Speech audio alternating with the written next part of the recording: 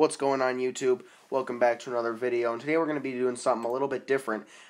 We're going to see what it's like to run a very old version of Windows in 2019. Now this is Windows Millennium Edition which was released in 2000 and got a lot of hatred from the community. So I'm running it in VirtualBox and if you want an ISO and product key so you can install it in VirtualBox and activate it, I will put that in the description. But um, I'm, only, I'm actually doing this video on my old computer because it seemed to actually when all those virtual machines I ran in VirtualBox actually seemed to mess it up, and I don't want to take that risk of doing it in my new computer, so we're just sticking with this old version or my eh, not old version, my old computer to run the virtual machines. Should anything go wrong, and that's that hasn't happened. Can we cancel that? Okay, good, because that that was the first time that had ever happened.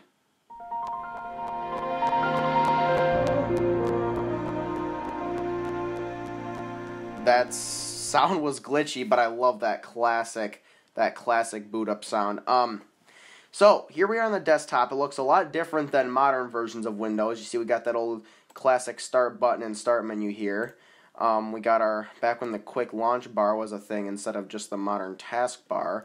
And then I actually set this background to what it is because it was the only thing. There are a lot of graphical issues in this. So I'll show you. If I go into active desktop, customize my desktop and then go to background, there are a bunch of built-in backgrounds, but they're all so graphically like messed up. So like if I want to do Yosemite, look at that. And if I do okay, look how it shows up. That is just not right graphically. So I'm just going to go back and in Windows me was like the only one that even like displayed even close to correctly. So we're just gonna go back to that. But um, you can see um actually a lot of pro default programs on the desktop. Um, if we go, we can go into My Documents, which is basically like the the File Explorer application. And uh, let's see, it actually comes with some sample music on here. I've played around with this a little bit. Um,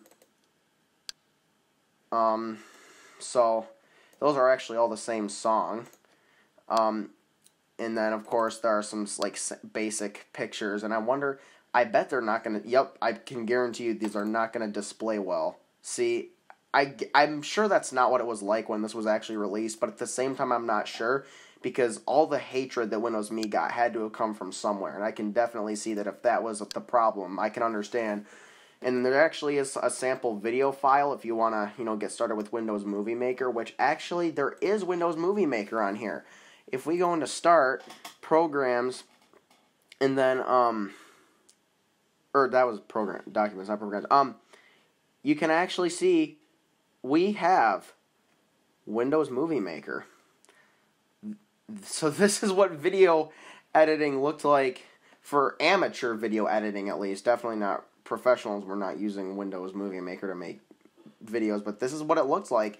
You know, I can drag a picture into the timeline here, and we're video editing. I still think there should be Windows Movie Maker and modern versions of Windows, but Microsoft hates us. Um, so I don't think I could actually see myself editing with this, considering how bad it is. But um, yeah, we definitely got Windows Movie Maker on here, and um, Wow, that... No, I don't want to save this. The sound does glitch on here.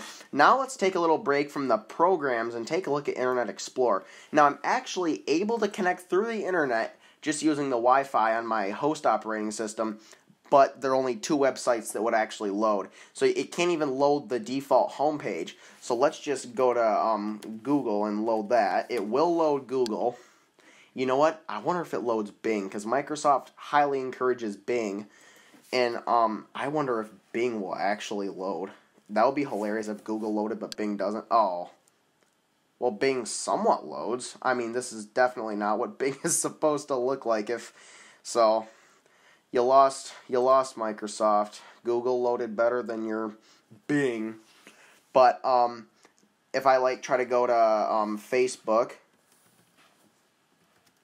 we get this lovely message about how it couldn't be displayed and um, YouTube will not load either, just because they're not. They just cannot be run on such an old operating system. But I do want to show you something interesting though. If I type in acid 2 test, um, basically if you don't know what the acid 2 test is, it's a test to see how kind of up to date your browser is, how good your browser is by it'll it'll display an image on using like the code in the web. I'm not exactly sure how it works since I don't know much about web design or web code, but um it's kind of cool just to see. Wait, no, that it worked before. Is this the right one? Oh no, that's the one I just clicked. Um, where is it? Okay, it worked before you guys. I was literally able to go in and take the acid two test. It actually loaded. Is it? Whoa, whoa, whoa, whoa, whoa! What are you? What are you doing? Hold on. Go back. Acid. I want to take it. Guys, I don't know why this is happening. Because it worked before. I wonder if... Here we go. Okay, so this is what it's supposed to look like. This is what browsers are supposed to render. Hello world text along with a nice little smiley face. This is what's supposed to happen. And this is what will render in any modern up-to-date browser. This is what it looks like in whatever version of Internet Explorer this is. Yeah, I'm no web designer, but something tells me that's not right. but anyway, you can see there's really there would be way more things to do in this browser if we could actually if it would actually load a website, but you can see it's just a real basic version of Internet Explorer, which I'm sure would have been fine if it was 2000, but again, there were so many complaints, I have to wonder. So you can see we have like kind of setting up the internet connection, recycle bin. I think we all know what that does. Do, do you know what the recycle bin's for? Do I have to explain that? Um, um, and then if I go down to the quick launch bar here, you see we have, that'll just show the desktop. We have Outlook Express, which was uh, Express 5, dang. Wait, what? I haven't even put in a single email address. What is this email? I haven't even put in, oh, it's just welcome. Nice, I see. Um, but yeah, just a real, real basic version email, which again, and I honestly wouldn't mind that today, just having a basic you know, things. I mean, the classic stuff is fine for a lot of people, but we actually have some built-in games. Look, look at all these games. Windows just doesn't have that anymore. You know, we got Heart, Solitaire, Free Cell, um, Internet Checkers. Let's play some checkers. Oh my gosh, that is bad. And there's actually still a server going for this. At least there is in Windows XP. I know there is a server still going for this, so Imagine if we could actually find someone playing internet checkers. Oh my god, it actually found someone. Gosh, sorry. Um, it's my turn, so let's move. So we're actually playing against someone online right now. This is the best online gaming you're going to be doing in this type of operating system. Come on, go, dude. But, um, no, he's not going. Um, so let, oh, he went.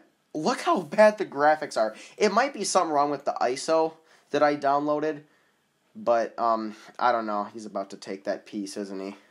Um, but we also have pinball. Oh my gosh, pinball was like the game to play when you were if you grew up with this operating system, which I did not. I didn't know about pinball when I was using XP.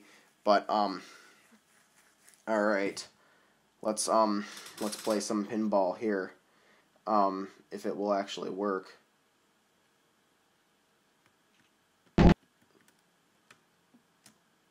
Yay! It's working! And, okay, cool. Man, I just can't get over how bad these graphics are. That was bad. Oh, wait, no, I, I did get that. Um, oh, man, this is... No! Okay, you know what, actually, I'm not... There actually is still something that I want to show you. If I actually go into Windows Media Player here, there is a song that I can play and it actually plays fine. Oh wait, no, that's not the right one. Oh man, we're running out of recording time, people. We got to get this to work. So you can see there's actually a song, but look what happens if I pause it. Such a beautiful way.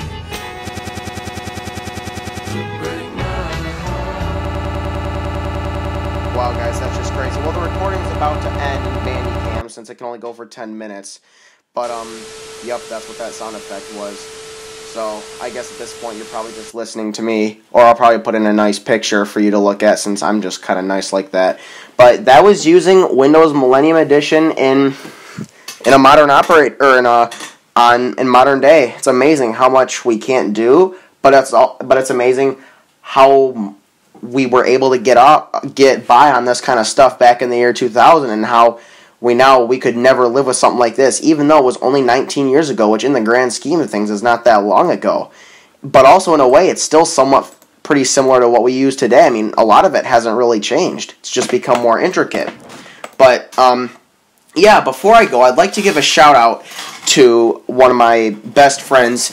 He has a YouTube channel and it's it's called Ripper. It used to be Ripper three six five, but um, if you like my content, you will definitely like the content that Ripper puts out. He's super cool guy, has some pretty cool videos on YouTube, and I, if you like my content, you'll definitely like his. So be sure to go check him out. Subscribe to his channel because he's one of my best friends. He's a super cool guy. So, all right, guys, thanks for watching.